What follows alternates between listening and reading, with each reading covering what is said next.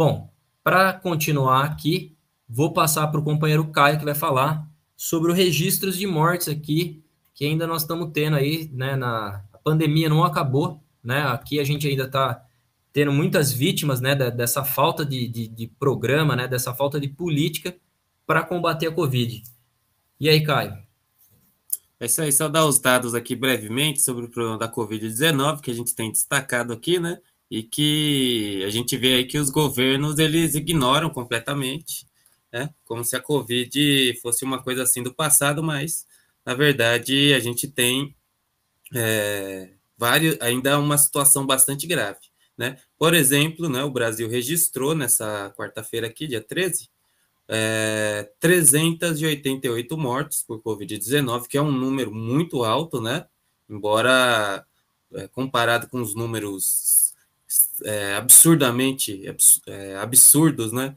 Que a gente viu durante a pandemia, mas é um número muito alto ainda, 388, né? E comparado aí a, na média móvel, né? Que compara sete dias é, com sete dias é, de, 15 meses, de 15 dias anterior, dos 15 dias anteriores, né, para fazer uma comparação da evolução, você teve aí uma variação de 14% a mais, né?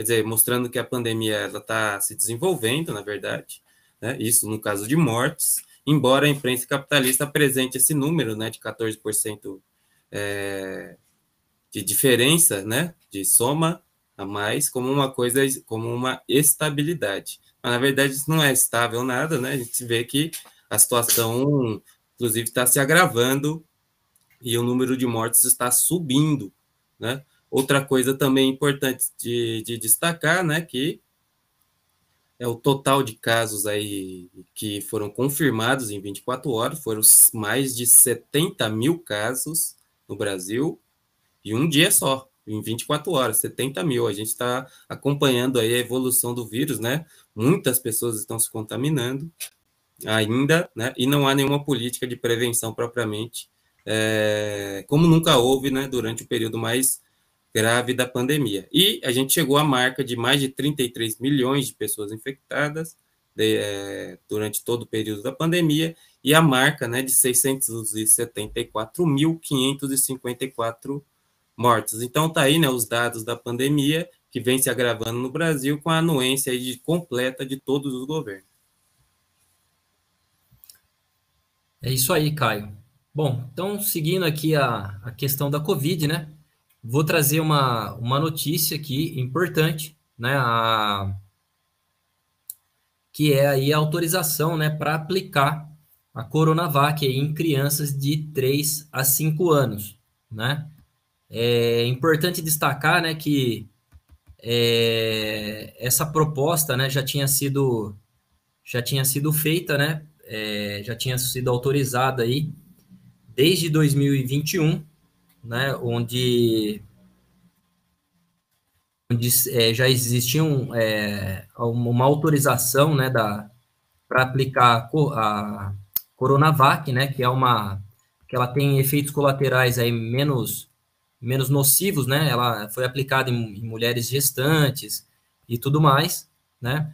Demorou-se um ano, né? Um ano, isso, isso era janeiro de 2021, um ano depois, né? Foi aprovada aí, é, a, foi autorizado, né? De, de verdade aí, em 2022, né? Pela, pela, pela Anvisa, e somente agora que vão disponibilizar as vacinas. Então, para ver aí né, a velocidade com que as coisas acontecem no Brasil, né? Se demora um ano para autorizar, e mais aí, de janeiro até agora, seis meses né, para se produzir né, as doses necessárias aí para essas crianças, né? É importante destacar também, né, Caio, que apesar de isso, isso foi uma liberação, né, que apresentada, né, a decisão foi tomada pelo, pelo Instituto Butantan, né? E apesar aí de de estar tá autorizado, né, essa, essa vacinação, né, é, a gente defende que ela também não seja obrigatória, né, não vamos, apesar de ser importante, a gente teve aí crianças, né, que, que também acabaram aí perdendo suas vidas, né, é, em idades menores, né? Eles, eles eram é, os principais, um dos principais vetores, já que eles tinham uma, uma certa imunidade, porém, eles acabavam aí também perdendo suas vidas, né? Mas isso aí não pode ser, né? Assim como a gente defende que não seja para adulto, né? Isso aí não pode ser uma coisa, uma medida obrigatória, né? Isso aí fica a cargo dos pais decidirem. Agora, mais importante do que isso, né, conforme o Caio colocou aí, é que as mortes continuam acontecendo, é que não existe ainda os testes, né? Isso aí, o, o maior problema ainda são os testes, né, que não acontecem, né? As, as doenças, elas acabam, essa, o Covid, ele acaba sendo transmitido aí nos ambientes, né, onde, onde se aglomeram pessoas, né, nas fábricas, no, nos locais de trabalho, né? As pessoas acabam sendo infectadas aí, levando para casa e tudo mais. Então, a, a, a, vacina, somente a vacina, ela tem se mostrado insuficiente, né? Além da vacina, é preciso outras medidas, né? Como os testes, que são fundamentais, que até hoje aí são escassos, né? É, em todas as cidades do país, né? Então, é preciso ter os testes aí em todos os postos de grande circulação, terminais de ônibus, né? Terminais aí é, de metrôs, né? Onde as pessoas aí é, se acabam se concentrando né, nas fábricas, nos bairros populares, coisa que não vem acontecendo, né? Então, mesmo as pessoas hoje, né, nós estamos aí prestes a tomar a quarta dose, né? Algumas pessoas já tomaram a quarta dose, né? E, e essa, essa situação ainda não se resolveu, né? Então, é, nós não podemos acreditar que porque vão vacinar as crianças agora que os problemas estão resolvidos, né? Preciso muito mais investimento aí do que tem sido feito nesse período. Bom, para continuar aqui, a gente vai dar uma